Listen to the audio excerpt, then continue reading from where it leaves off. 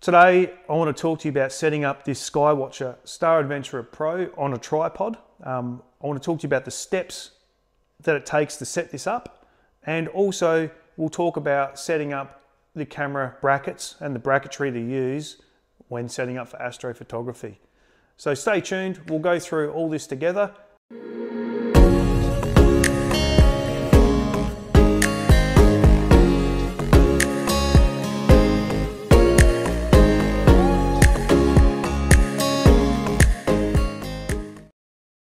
All right, before we go through the steps of mounting this to your tripod, um, I just want to talk about what powers the device, obviously batteries, um, but the AA batteries, I recommend using rechargeable batteries just pure and simply because it's much cheaper than buying batteries all the time. The batteries do last quite a while in this device. I've never, I've never really run them out of batteries before, but what I do do is top them up um, with my rechargeable wall adapter that the batteries came with. I picked it up from, well, in Australia, we got Woolworths. Um, so I picked them up from there for about, I think it was about 40 $45. Not the cheapest, but overall, the lifetime of replacing batteries in this, it would work out much cheaper. Um, I do, however, have issues pulling the batteries out of here because you can't get your fingers in there. Um, it's quite a tight sort of design. So I found that I use the back of the lid um, and just lock it in there to flick the battery out makes it much easier. You can do that for all the batteries. So yeah, that's just one cheat that I found to make my life a bit easier. Um, but yeah, now we'll go through the steps of mounting this to, to the tripod. Right, the first stage or the first thing you're really going to need is a tripod of some description. I'm sure that you guys have got one um, in your kit. Um, you're going to need something with a ball head for this um, Skywatcher to mount to. So most tri um, tripods that I know of have a unscrewable ball head. So unscrew this ball head here to expose the thread on top of the tripod. So that thread there is the same size thread that's required to mount, to mount your wedge to. So unscrew your ball head is the first step.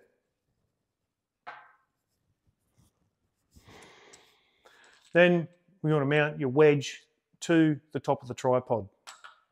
So you can screw that in there. Um, there is another option here, another step that I like to do before I mount this wedge to the tripod, and that's using a leveling base, um, which I've purchased from, I got it from Amazon, and it's a newer brand, N-E-E-W-E-R, Neewer.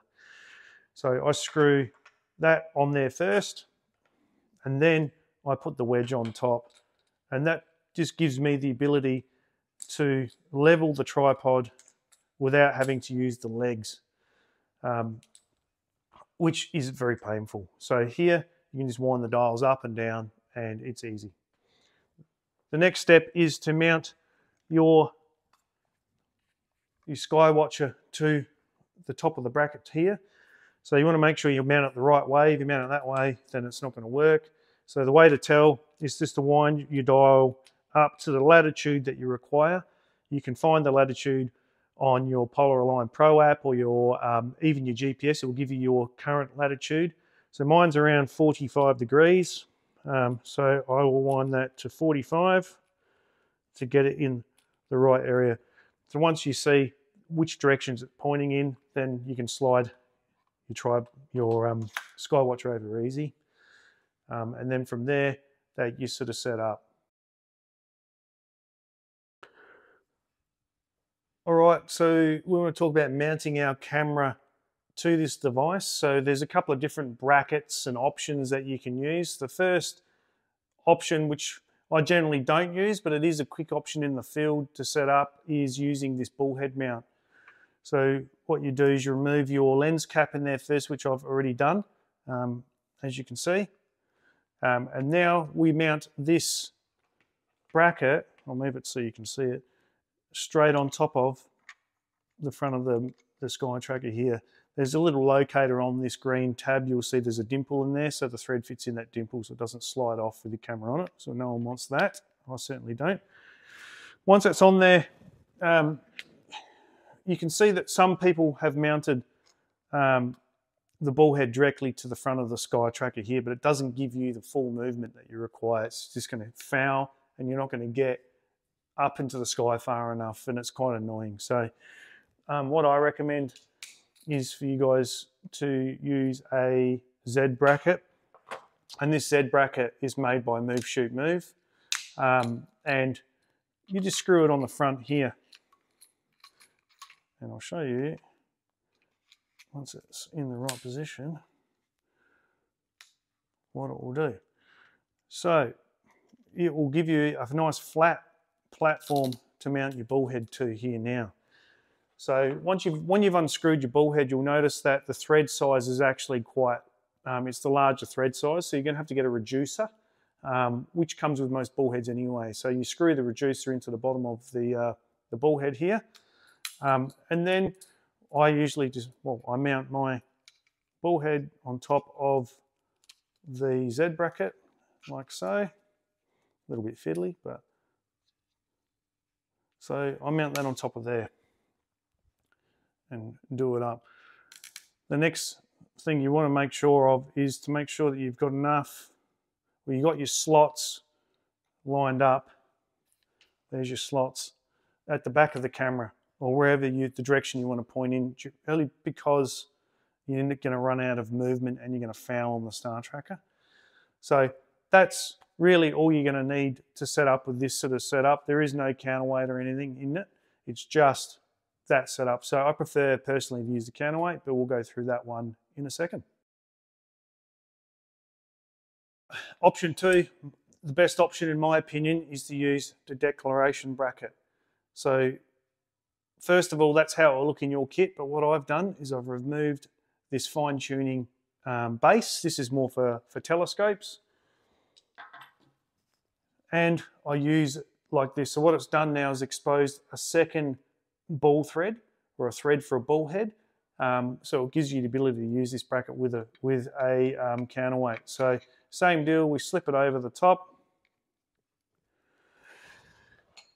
Then we can mount the counterweight. So they also tell you to unscrew this um, which I don't like because I've dropped it on my toe once and it really hurts. So I don't unscrew that. The first thing I do is slip it over the top and do it up and then just spin it on. So it's really easy to do it that way. You don't drop anything. So spin him up like that. And then the second step, which is part of the first step I showed you, is to mount the Z bracket directly to the top of the declination bracket.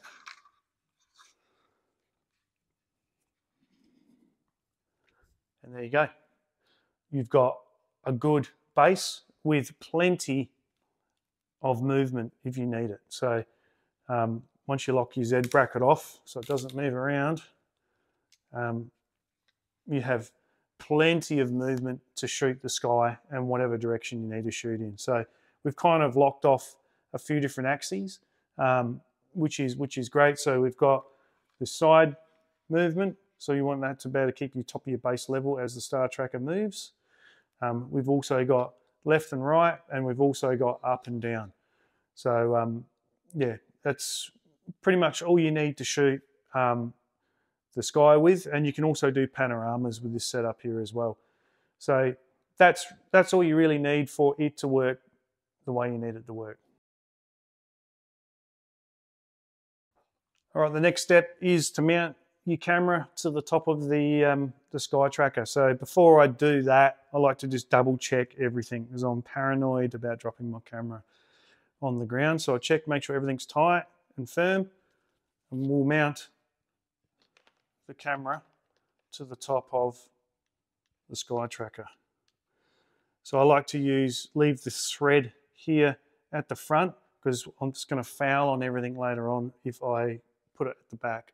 And on this ball head, I've also got a level bubble at the back here, so that kind of helps out a little bit too.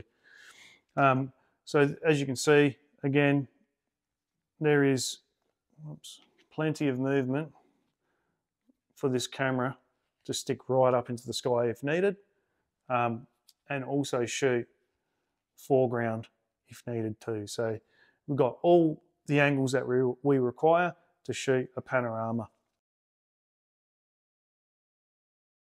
Now the camera is fully set up on the Skywatcher. The next step is to polar align the Skywatcher to the celestial pole. Um, if you're in the southern hemisphere, that's the Sigma Octans constellation. Um, if you're in the northern hemisphere, you've got the Polaris Australis star, which you're very lucky because it's so bright you can actually see it with your naked eye. Here we can't see anything. So um, to polar align the tracker, I've got a um, polar alignment video for you guys to check out. It's polar aligning this star tracker in three minutes using a phone app. So do check that out. I'll leave that in the comments um, below for you guys to find it easy. Um, in the meantime, please like and subscribe to my channel. Um, it helps me get out in front of more people like yourselves and help more people with their astrophotography journey. So thanks for tuning in and I'll see you in my next video.